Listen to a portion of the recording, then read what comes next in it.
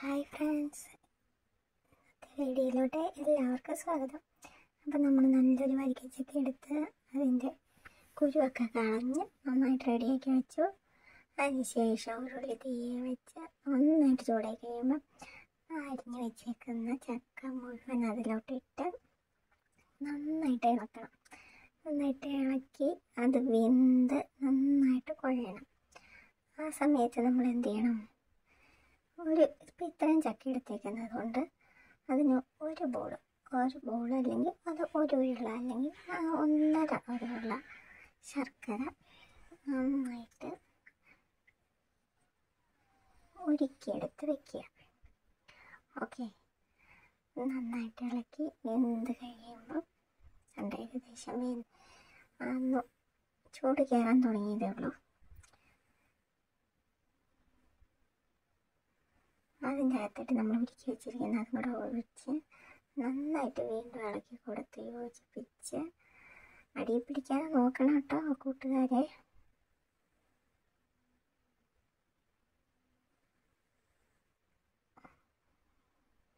ഇളക്കി ഇളക്കി ഇളക്കി നന്നായിട്ട് ഇളക്കി കൊടുത്തുകൊണ്ടേയിരിക്കുക പിന്നെ നമ്മൾ ചെയ്യേണ്ടത് ഇച്ചിരി ജീരകവും ഏലക്കായില്ലേ? ഏലക്കായും കൂടെ കൂടി ഫ്രണ്ട്സ് അത് കുറേ നമുക്ക് അളവ് അറിയാമല്ലോ ആ അളവിനനുസരിച്ച് എടുത്ത് നന്നായിട്ട് പൊടിച്ച് വയ്ക്കുക ഞങ്ങൾ ഇത്രയുള്ളതിന് ഇത്രയും മതിയാവും.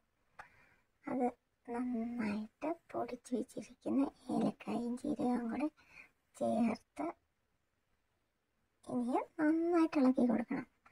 നന്നായിട്ട് ഇളക്കി പാകം കണ്ടു? കട്ടിയായിട്ട് കിടക്കണേ. ആ കട്ടിയായിട്ട് കിടക്കണതും ഒക്കെയും നന്നായിട്ട് ഇളക്കി ഇളക്കി ഇളക്കി ഇളക്കി ഇളക്കി ഇളക്കി. കൈയൊക്കെ ചെറുതായിട്ട് വേദനിക്കും. എന്നാൽ സാധനങ്ങൾ ഇളക്കിക്കൊണ്ടേയിരിക്കുക. ഇളക്കി നല്ല സൂപ്പറായിട്ട് ഇളക്കി അത് യോജിപ്പിച്ച് വയ്ക്കുക ഓക്കെ?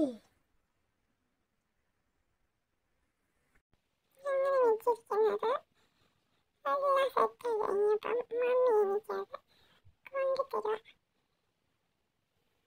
കൊണ്ടുതന്നപ്പം ആദ്യം എൻ്റെ അനിയത്തി കാക്കോട് അവള് മേടിച്ചെടുത്ത് തിന്നു ഞാനോർത്ത് ചൂടാന്ന് പക്ഷെ ചൂടേ ഇല്ലായിരുന്നു കേട്ടോ പിന്നെ ഞാനത് മേടിച്ച് തിന്നു തിന്നപ്പം നല്ല രുചിയുണ്ട് പിന്നെ ഞാനമ്മ തന്നത് മുഴുവൻ തിന്നു പിന്നെ ചെറുതായിട്ട് അമ്മയുടെ കൈയൊന്ന് കടിക്കാനും നോക്കി നോക്കിക്കോണി friends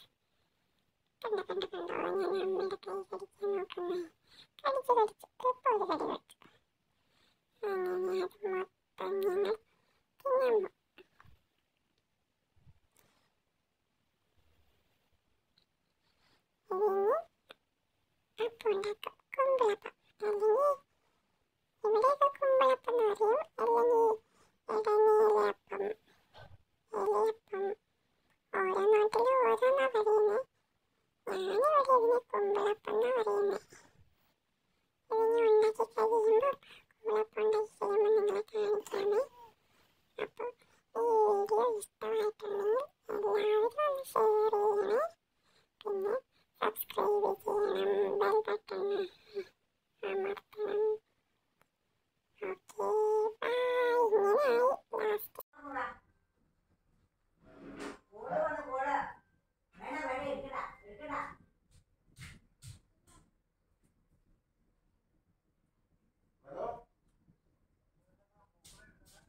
We're going to do that.